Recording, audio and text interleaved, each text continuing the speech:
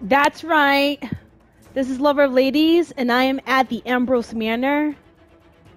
Olivia's right. It would be so crazy to not stop.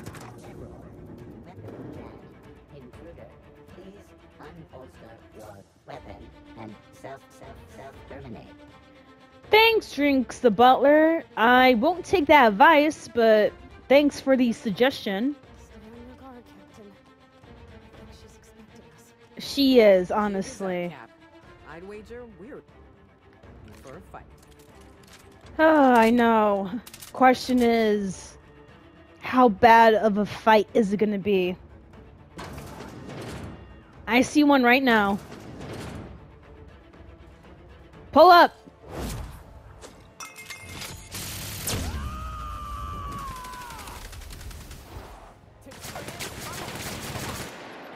Oh, I ran out of bullets. Great.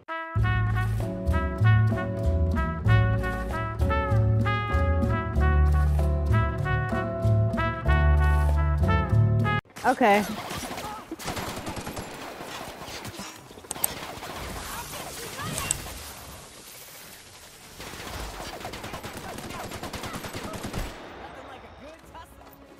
I know Olivia said not to kill her daughter. I'm gonna try and follow through with that promise. I'm not guaranteeing it. I'm gonna try and see if I can do it without hurting her, but like I said, I'm not I'm not making any promises at this point. It sucks how it has to lead to this, but honestly, it is what it is.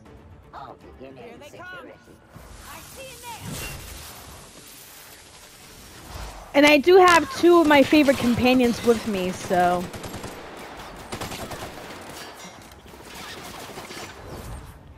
Nyoka, get him!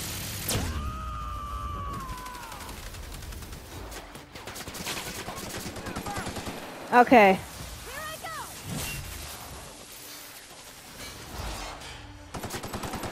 Not bad. Honestly, not bad. Okay, so being that this door is opened, okay. Is Olivia here? No. Her daughter's not here either. Okay. Okay, so unlock elevator. Got that. Log in. Ambrose O. Wait, what's this?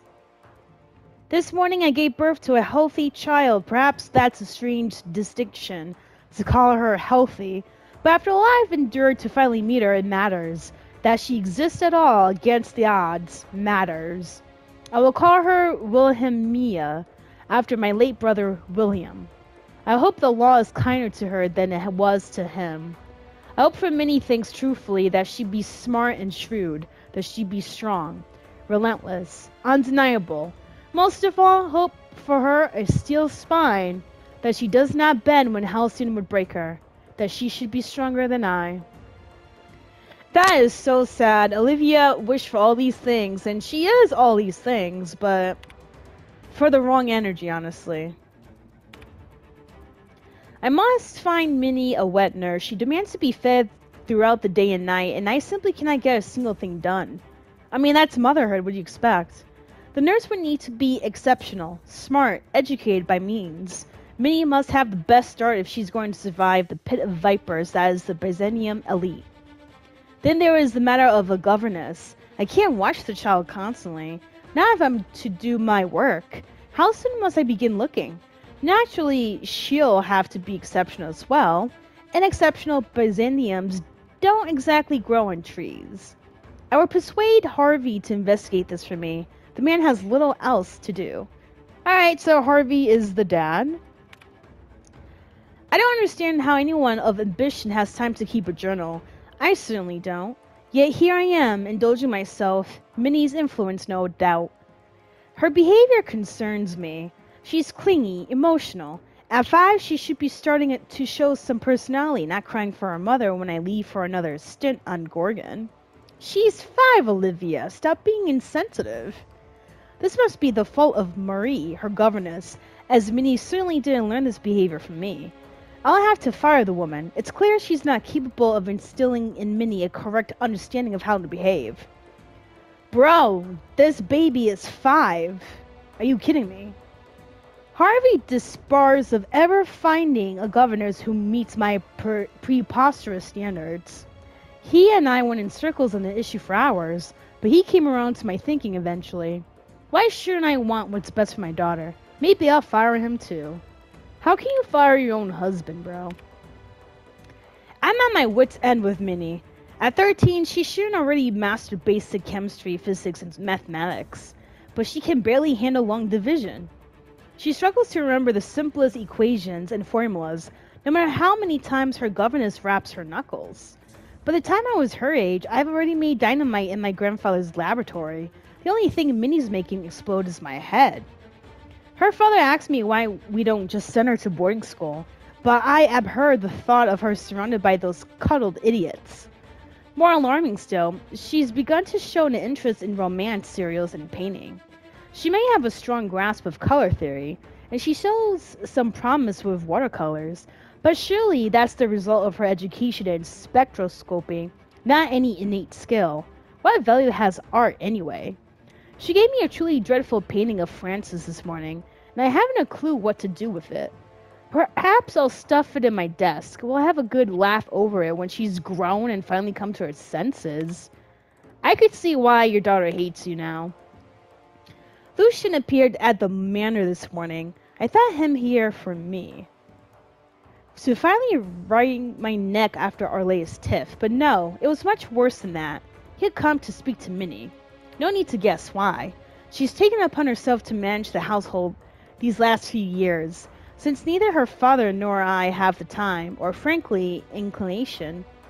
Under her watch, the staff's productivity has increased 35%, while reducing our costs an astonishing 67%. We've saved tens of thousands of bits. Harvey tipped Lucian off, I expect.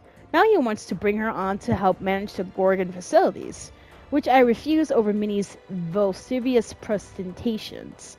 She cried after he left. I only wish that I could tell her why.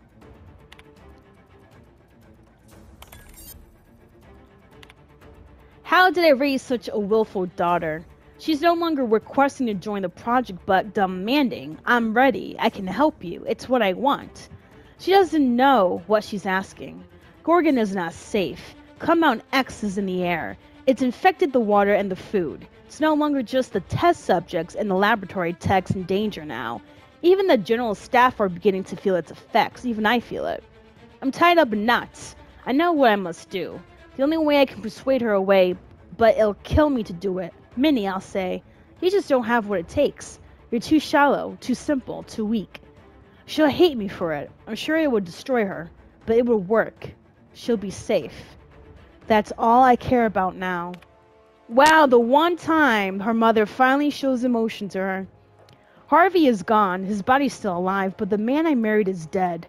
He broke into my office and stole the last of my release candidate amulets busted the door to splinters in his withdrawal fury. I've chartered a shuttle to bring him to the facility for medical care, even convinced Periantha to oversee the transfer. He didn't want to, was worried it wasn't safe, but I begged him. Harvey killed their shuttle crew, Privyantha too, but the shuttle wouldn't take off without its pilot, and I couldn't stop his raging, so I left the ship on the landing pad for days, watched him tear it to pieces with his bare hands. He lost a lot of blood, I brought him inside once he finally passed out and shoved him into a stasis solution tube. My work did this to him. Mine. Me, I did this. I'll tell Lucian. Surely now he'll delay the release. Surely after this. Wow, so the husband became. The husband became. a marauder. I take from these entries that Mother was severe with her editorial pen. This is but one version of her, carefully curated and not the one I wanted to find. Where's her unvarnished steam of consciences? Where's her spontaneous brilliance? The search continues. My efforts will invariably steer me to Gorgon. What then, Minnie? What then? Oh man, this is crazy. I'll take that, I'll take that, I'll take that. What is that?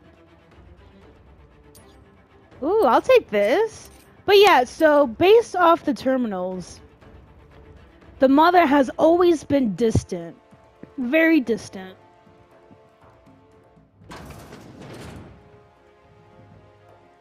Okay, so she's not here. She definitely has taken the thing.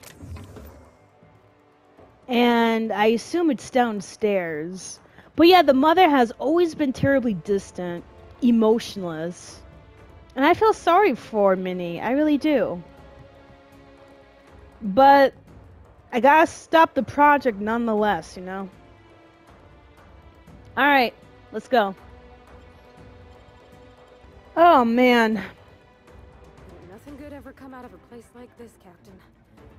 Gives me the heebie-jeebies. Damn. Someone really didn't want this place found. I know, right? Let's go.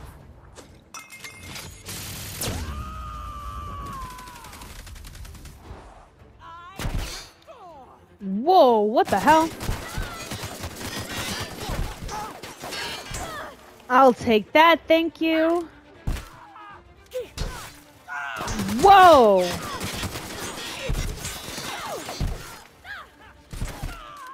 This is really intense.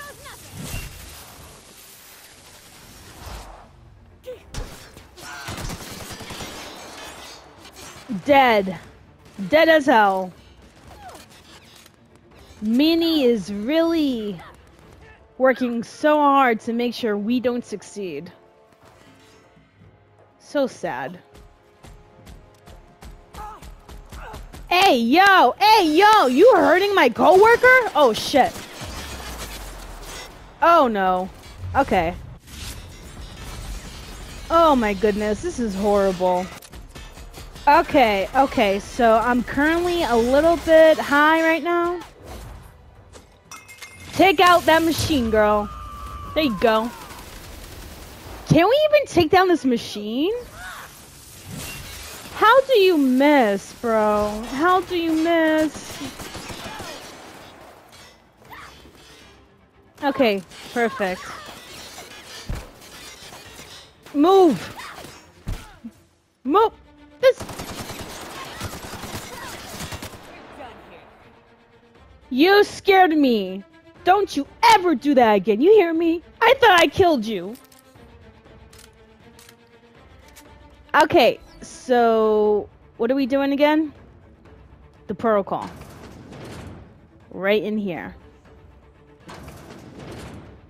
Oh my goodness. Of course.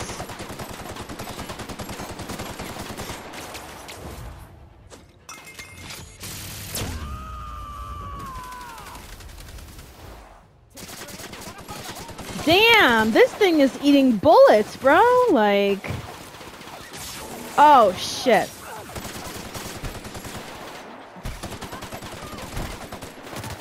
Oh no! I've been hit. Thankfully, my health bar is so high, it doesn't even affect me like that anymore. Okay. Seriously though, how many- Didn't I warn you not to set foot in here until the job was done? You should have listened to my advice. Let's talk about this, Minnie. There's nothing to discuss. I can fix Adrena time without you, and certainly without Mother. You wasted your time coming here, and worse, you wasted mine. But I won't let anything stand in the way of progress. Listen. What if you and your mother joined forces to cure the Marauders? You'll surprise me, Captain. Once we fix the chemistry of Adrena time, the Marauder problem will simply take care of itself. But a lot of folks are gonna suffer in the meantime. And you don't even know if it'll work. Exactly. Yeah, fight horrific science with horrific science. That's always worked out in the past. The days of the old Adrena time are numbered, and Marauders are bound for extinction. If the Marauders don't get a fix, they'll just rampage across the colony. Insane people addicted to drugs are Mother's problem. Am I to be held accountable for her mess? It ain't about who's accountable. Those people are hurting, and they're hurting others. You could help them. Besides, Mother is determined to ruin everything she touches. No, First she wasn't. time, then our family, and now my ambition. Damn. I can't even. Okay. If you won't compromise, stand down. This doesn't have to get ugly. Stand down? I think not, Captain. People want to buy clean drugs, and I want to sell them. Under my leadership, Adrena Time will live up to its promise, unlike certain mothers. Listen, I don't want to fight you, Minnie. Don't force my hand. Farewell, Captain. If it wasn't already obvious. Damn, Minnie. Fuck. Okay. Don't hurt Minnie. That's all I have to say.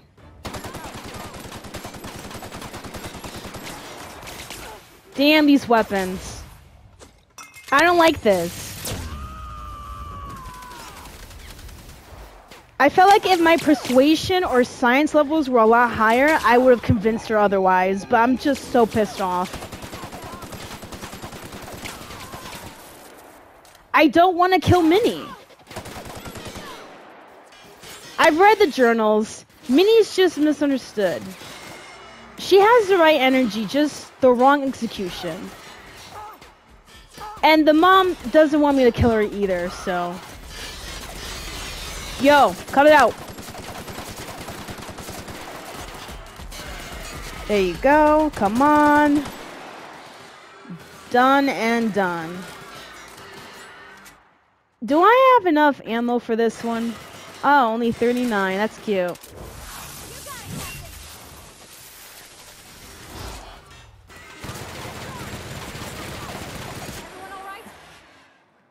Yeah, I guess. I'm I'm still pretty sad and bummed out. I guess I gotta pull out this number.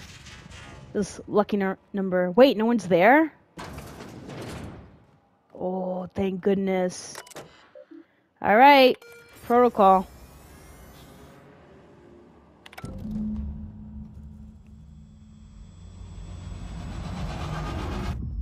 Whoa! Did I just explode the facility in Gorgon? You've finished it, Captain. You've put Gorgon down once and for all. I only wish that Minnie had seen reason.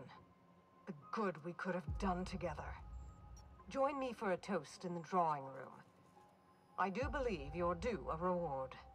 After all we've seen of this lady, are we sure this ain't a trap? Hand to law, Captain.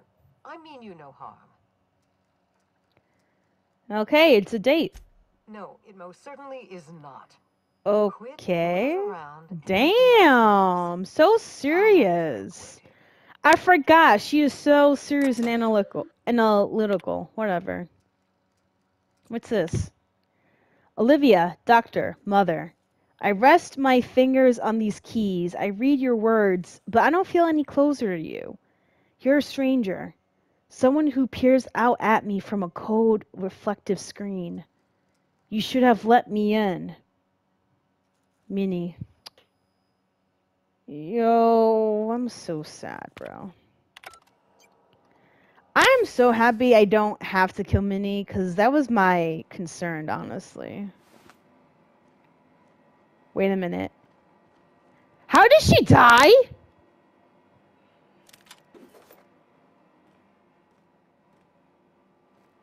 Minnie's dead?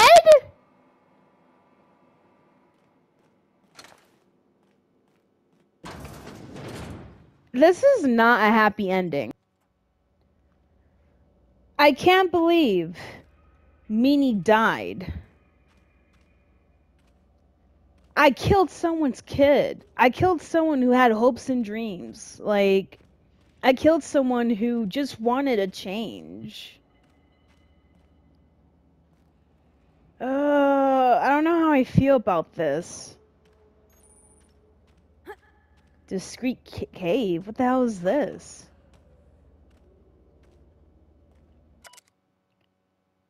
How long? Wait, how long's it been since anyone asked old Mayberry to tidy up the planters or rake the garden? Hmm. Mrs. Ollie hasn't shouted for me in ages, and I can't think of the last time Mr. Harvey came around to marvel at his fish. Where is everyone? Week two.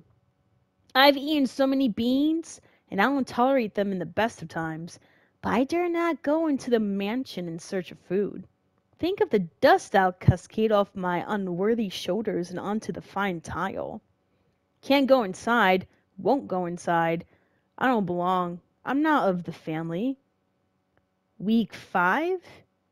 Out of beans, but I won't trespass, even if the house is empty. I'm not of the family. The Automex know. They watch my every move. The cave is where I belong. Year two. Time is a lie. There's no telling how long I've been here, munching on leaves and burying my excrement in the yard. No one's coming for old Mayberry. Lo- loyal Mayberry. Faithful Mayberry. I mean, thank you for these. I'll take it. If you're not going to use it, I'll take that. I'll take that. I'll take that. I just love taking shit, honestly. I don't care about that. I wonder what happened to Mayberry. Wait, wait, hold on. I just said I wonder what happened to Mayberry, and watch me find this person's dead body. I don't know how I would feel about that, honestly. Alright, let's. Wow, this cave has been here the whole time. Uh, I'll take that. Daily routine sweep the Tranquility Garden for Mrs. Olivia. Oil the fish for Mr. Harvey. Repeat. When they hired me on as groundskeeper, I assumed there'd be grounds to keep.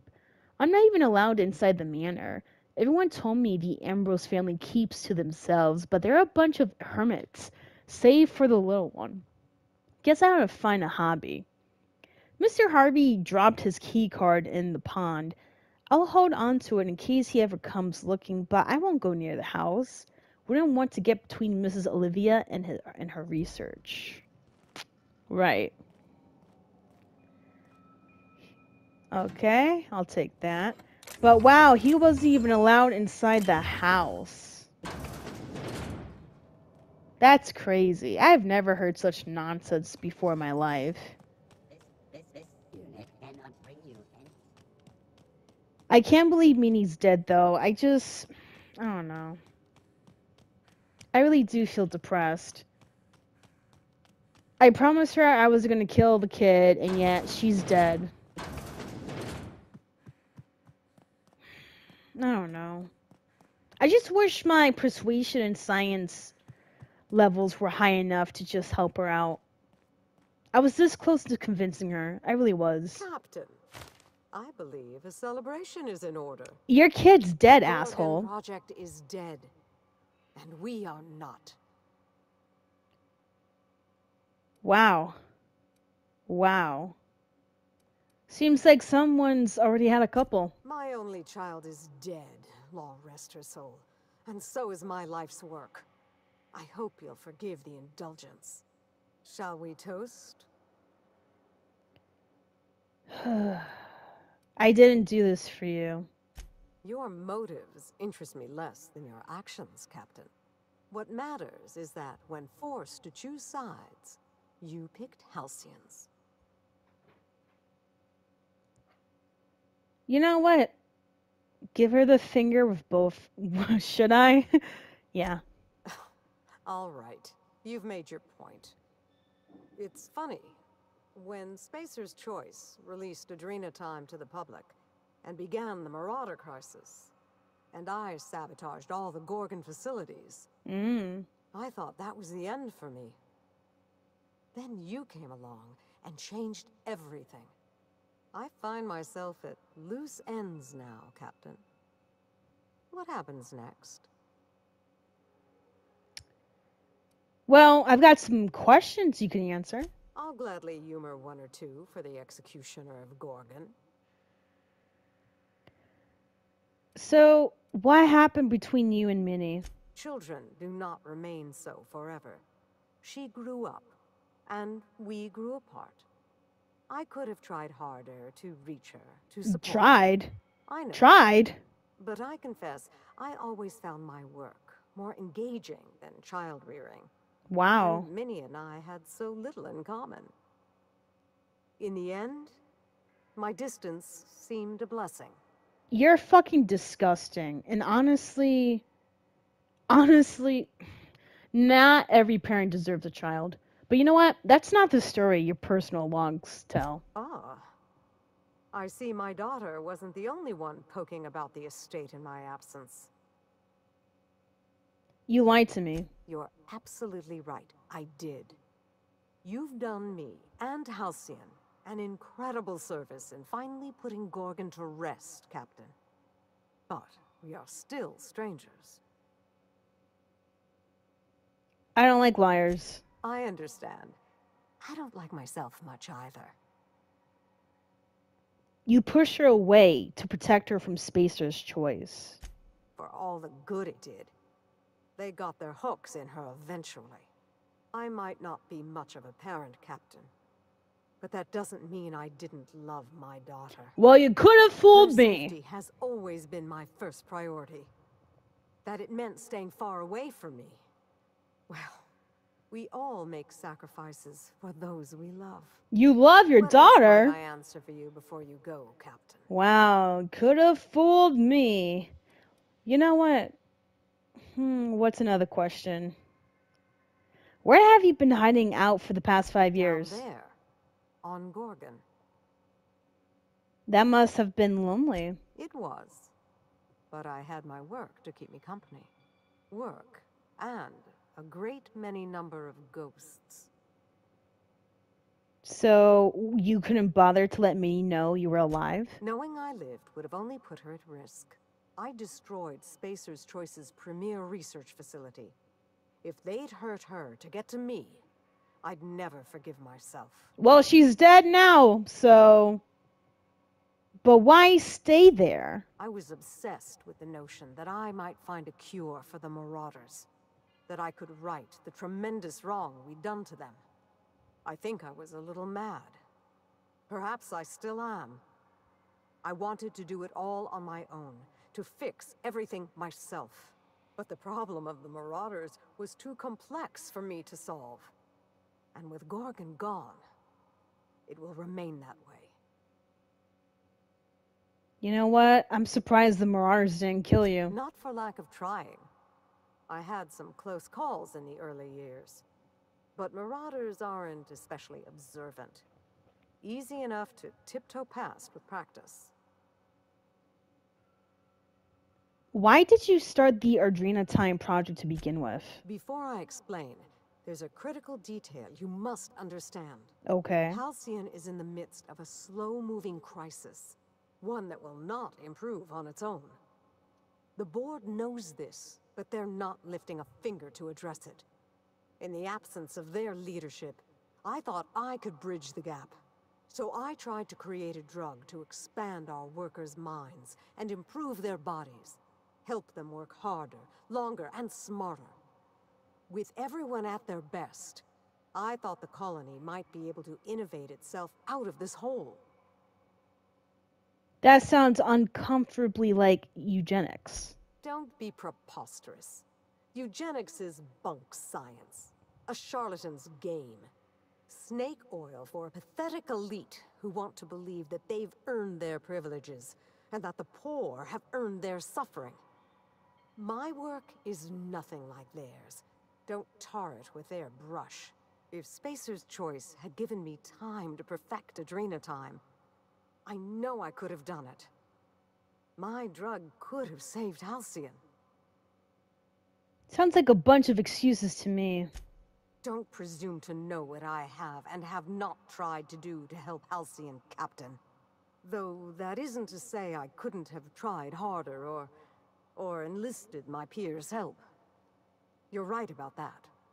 Was there anything else you wanted to discuss? before I bid you farewell. Did you really sabotage all the Gorgon facilities? I certainly did. Spacer's Choice's negligence sent Halcyon into a tailspin, and they refused to pull Adrenatime from the market to stop it. They forced my hand. I ended the project the only way I could, by destroying everything.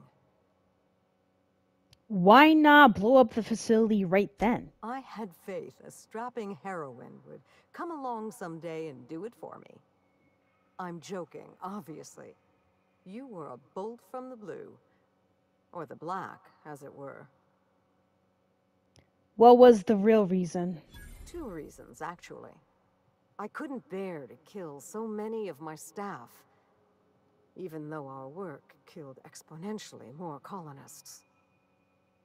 And? I didn't want to give up on my research, even after all it had cost us.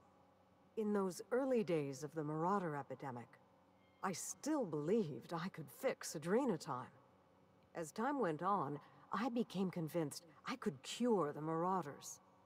But once again, Spacer's Choice has forced my hand. This time through my daughter. And I have to let that dream die too.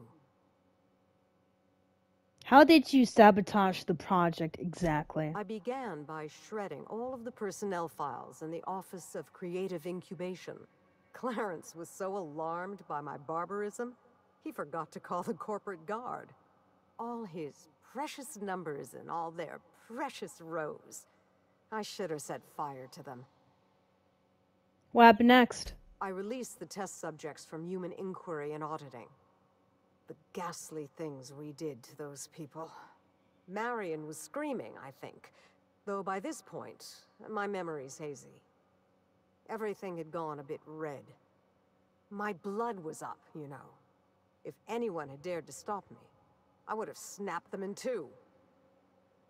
And the chem lab? Ah, compound harvesting, enrichment, and molecularization. My second home. Well, my first home, really. Jasper had been doing some personal work there after hours. Something about primals and mirror neurons. I set the primals free. They tore through the lab like it was made of wet toilet paper. The primals slaughtered the scientist? I know. I remember. I wasn't myself by then. Grief and horror had taken me to a dark place. Anyway, that's how it happened. Gorgon's first fall. It's not a pretty tale, but the truth rarely is. Thanks for clearing that up. I would say my pleasure, but there's nothing very pleasant about this. Never mind. Of course. Anything else? Or shall I let you see yourself out? Let's get down to brass tacks. Where's my reward? The satisfaction of a job well done isn't enough for you? I'm only joking, of course. Please take this, with my thanks. It's not much, but you deserve recognition for your efforts. I know your crew played no small part in this as well. Thank you. Just trying to do my part. You're welcome, ma'am. I hope you take this life and do something better with it. Halcyon owes you both a tremendous debt. Hmm. Gratitude is the least you owe us, lady. You're right. I can never repay you for your efforts here. I only hope the law honors you accordingly. Well, it's time we stop looking back and turn our eyes to the stars. Where will the future lead you, Captain? I got a mad scientist to rescue. I'd expect nothing less from the hero of Gorgon. In any case, I do believe this is the end. Law willing, Adrena time is dead for good, and the Marauders will die out with it. Goodbye, Captain, and thank you again. May the stellar wind be ever at your back. Goodbye, Olivia. And good luck. Thank you for watching this episode. This is Lover of Ladies, and I'll see you next week.